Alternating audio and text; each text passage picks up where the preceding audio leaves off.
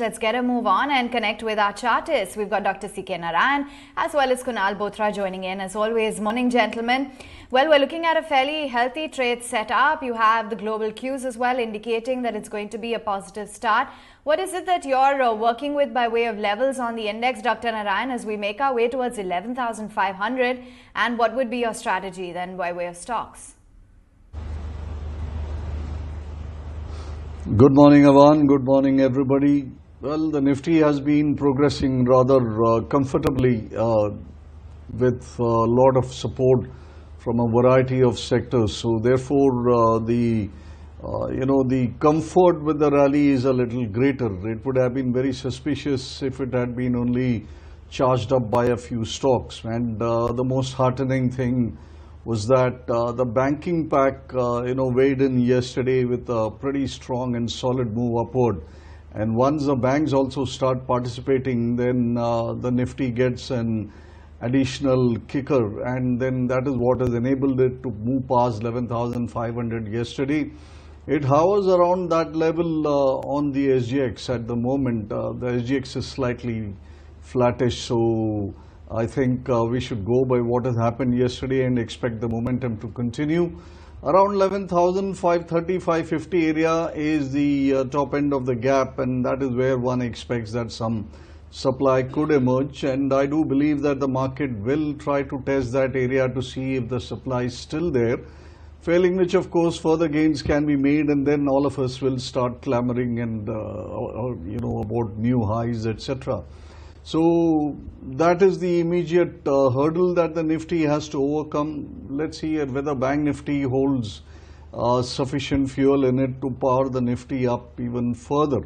Now that as a background, we have uh, a bullish, uh, you know, overarching sentiment because the mid caps and small cap indices are also doing pretty pretty well, and uh, the activity there is, uh, I think, resoundingly strong.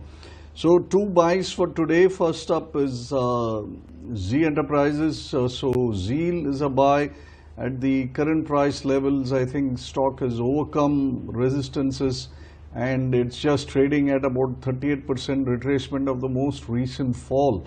Now that's a bare minimum that you attribute to a to a correction and uh, I would expect the momentum will continue. Can look for a target 212 and uh, maintain a stop at about 196. The second stock is Bajaj Finance, uh, which is also staging a very good rally and last set of swing highs are coming in for a crossover.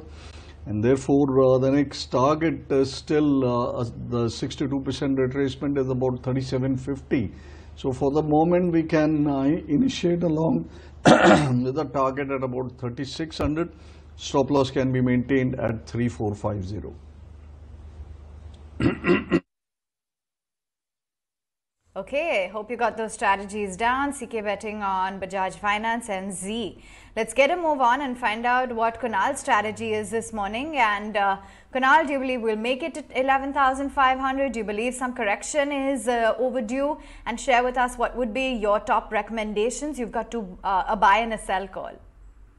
So good morning, Avan. Uh, I'll straight away go to some of the data points, which I think is very, very important to take note of. One, on the option front, and now that you see we are heading towards the you know the expiry week, and over the next couple of days we are heading towards the expiry.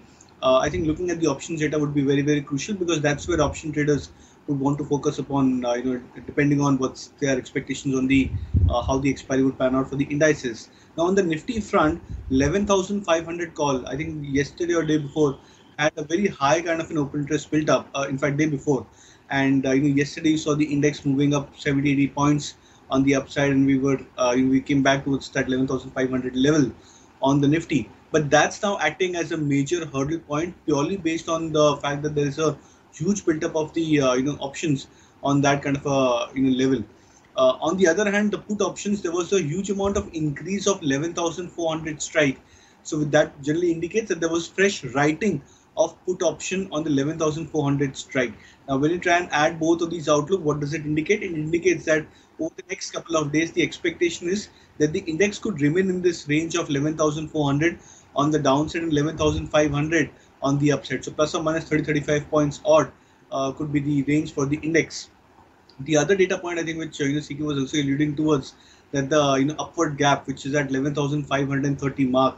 Now, technically, these gaps, uh, you know, at least in the last four five months of this price recovery, we've seen that all of those uh, you know, short-term gaps, uh, you know, have acted as hurdle points or a, a, point where the index takes a takes a bit of a pause before it uh, you know moves up higher. So I think looking at the evidence on the options as well as on the uh, you know charts as well, I would expect that the index should uh, you know stagnate at this 11,500 mark plus or minus 30 odd points. Now I would mix the set of strategies. Bank Nifty is where I believe that the uh, you know focus should be for short-term traders. So I'm uh, you know betting on one uh, you know private sector bank as a breakout buy. You know IndusInd Bank is is what I would suggest as a fresh candidate for a breakout name at current levels. 535 is the breakout point for IndusInd Bank. The stock is just about very close towards those kind of levels. Would suggest a buy above that for a target of 550, 555, and stop loss could be kept at 520 at least. And uh, you know, the second is a sell on JSW Steel. Metal stocks have had an unabated run. JSW Steel, particularly, I think uh, you know, but the indicators have started to show a bit of divergence. Uh, so I would expect that the stock may go through a gradual pause or a minor correction, at least on the short-term chart. So uh, a short-term sell on JSW Steel, targets of 272 and stop loss at 293.